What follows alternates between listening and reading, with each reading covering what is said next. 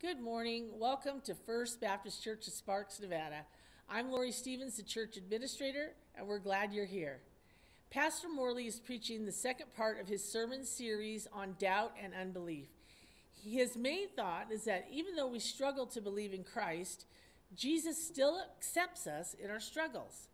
There is a powerful story of a grief stricken father who desperately wants to believe Jesus can help his son.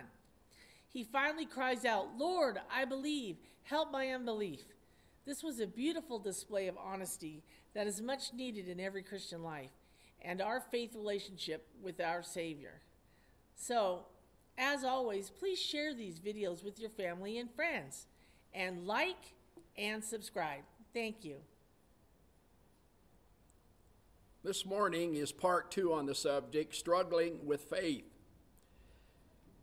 helping our unbelief or dealing with doubt.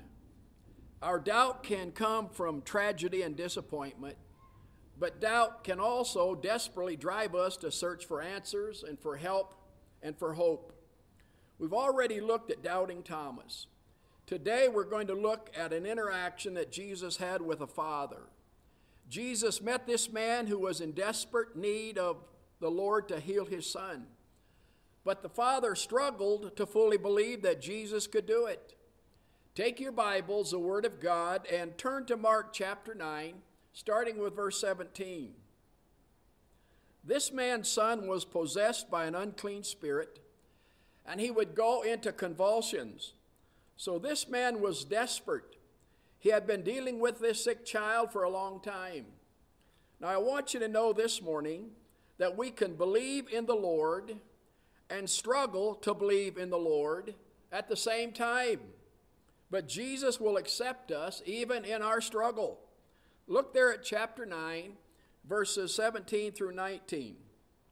Then one of the crowd answered and said, Teacher, I brought you my son who has a mute spirit.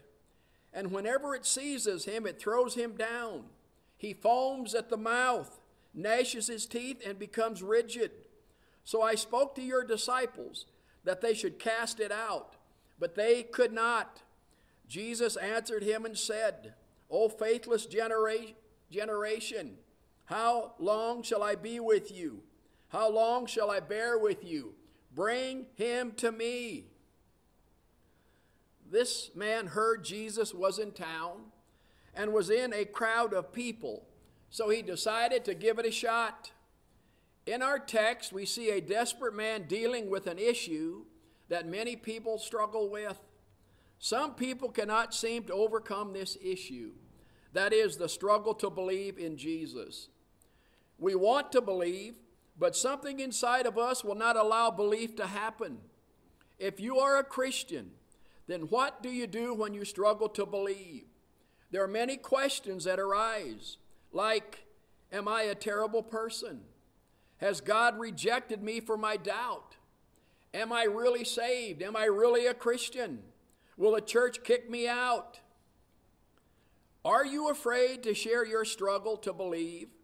because you think you are the only one dealing with doubts.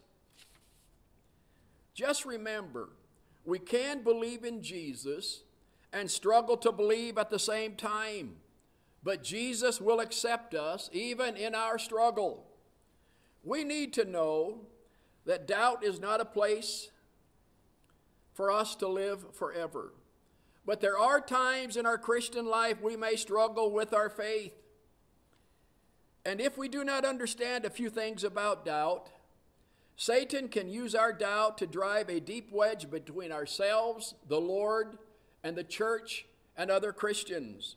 Look there at Mark 9, verses 20, 21, and 22. Then they brought him to Jesus. And when he saw Jesus, immediately the Spirit convulsed him, and he fell on the ground and wallowed, foaming at the mouth. So Jesus asked his father, how long has this been happening to him? And the father said, From childhood. And he often has thrown him both into the fire and into the water to destroy him. But if you can do anything, have compassion on us and help us. So Jesus asked his father, How long has this been happening to him?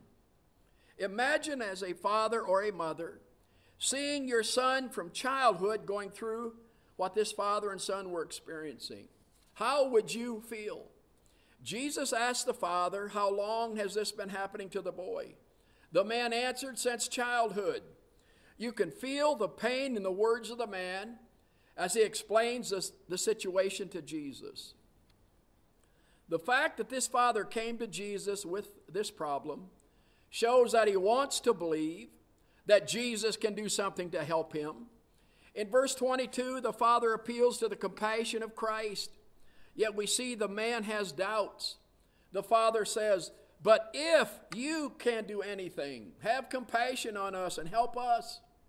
Notice the father says, But if you can do anything. The father, without knowing it, shows a weak faith, shows doubt.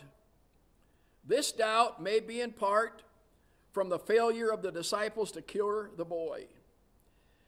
This might have served to weaken the faith he originally had.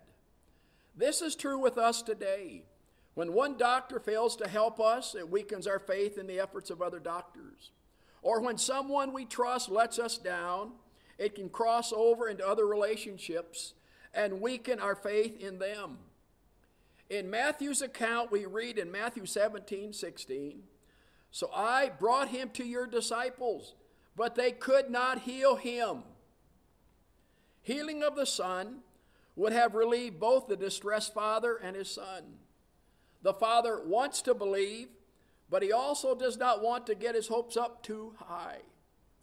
The failure of the disciples to heal the, heal the boy had to have been extremely deflating, given the fact that they had cast out demons.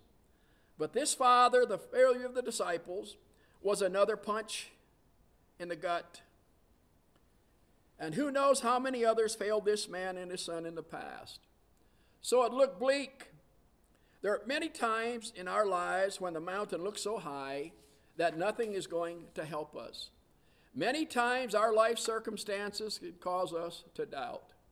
This is what the Father is experiencing at this point. Doubt can flow from a sense of desperation and hopelessness. Now, let me ask you what in your life has caused you to doubt? And if you are in that state, are you just going to give up and die? Or are you going to reach out? Look there at Mark chapter 9, verses 23 and 24. Jesus said to him, If you can believe, all things are possible to him who believes. Immediately the father of the child cried out and said with tears, Lord, I believe, help my unbelief. The father is standing with Jesus with his son. The father did not let his desper- desperation lead him to give up. Instead, he followed a second path that we can take when we are overcome by desperation and doubt. He dug deeper, searching for hope, trusting even more. There is a line in one of my favorite movies, Galaxy Quest, that says, Never give up, never surrender. That was this father. And that's good advice for any age, in any situation. Notice Jesus responds to the Father's call for help. There are a few ways we can interpret the response of Jesus. One commentator said these words, if you can believe, all things are possible, must be understood as Jesus' rebuke to the Father's lack of faith. But the Father accepted them. It's as if Jesus has said, Look, any man who has faith will not set any limits on what I, the Lord, am able to do.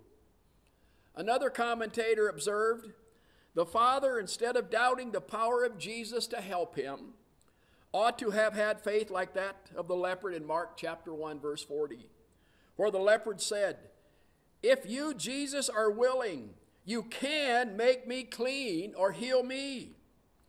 That is where I come down on this issue of faith.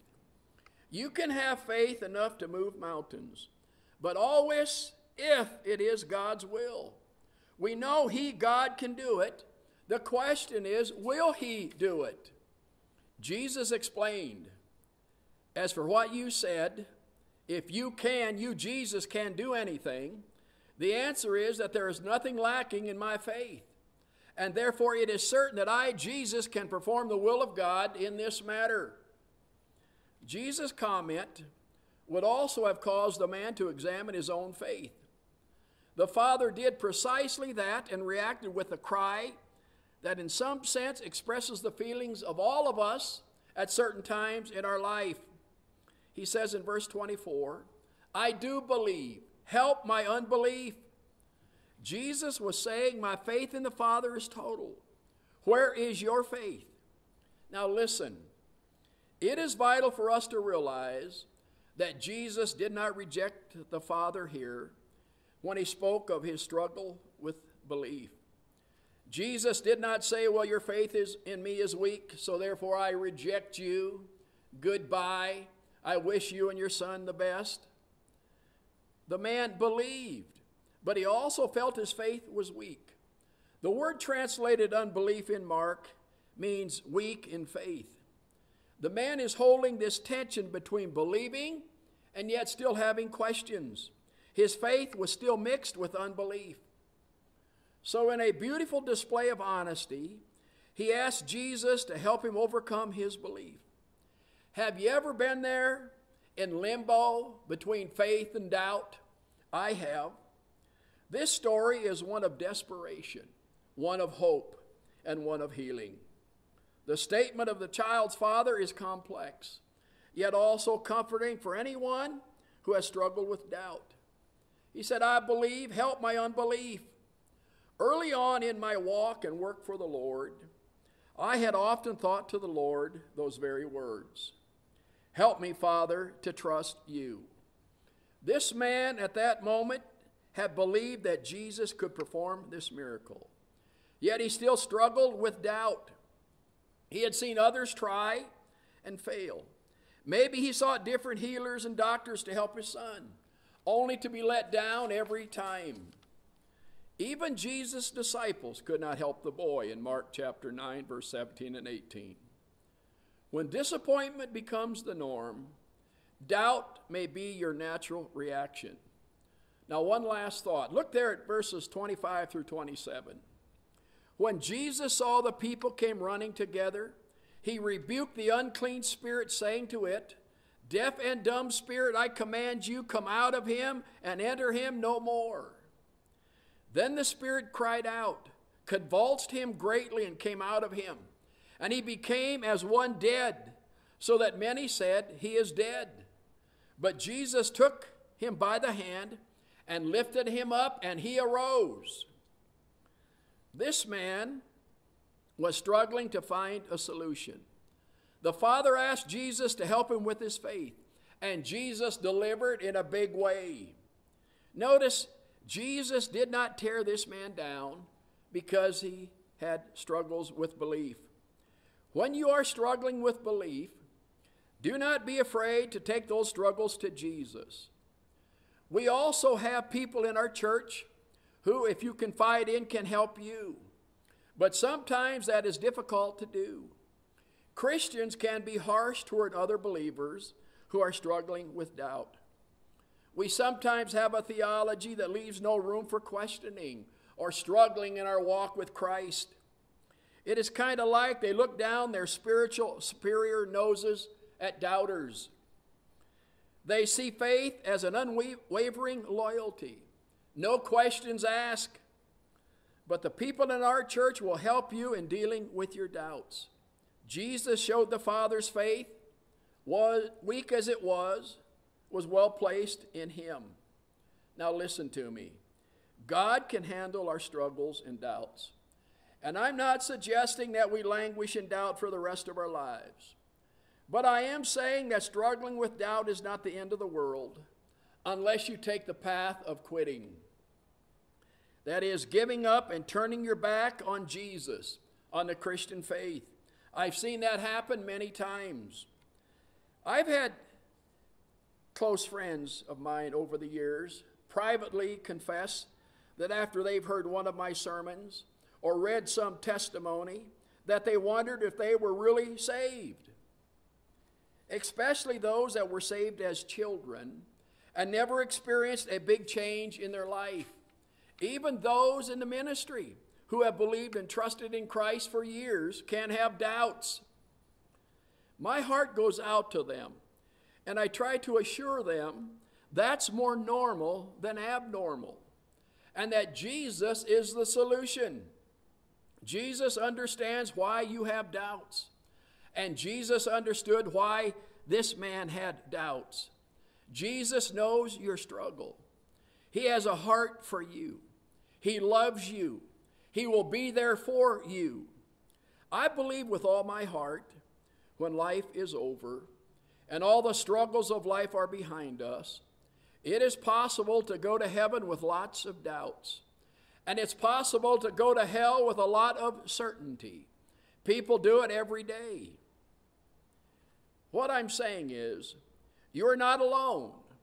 You're not the only one who struggles with doubt. This story today is proof the Lord shows compassion to those of us with struggles and doubts. And we as a church have an opportunity to show that same compassion to, to those who share their doubts with us. Our challenge this morning is not to hide our doubt, but to bring our unbelief before a loving God so he can help us overcome our doubts. Remember and say these words of grief spoken by this stricken father Lord, I believe. Help my unbelief. I am telling you, tragedies will happen in our lives that can and will shake our faith to the core. But don't give up or in when it comes to Jesus. Never give up, never surrender. Amen?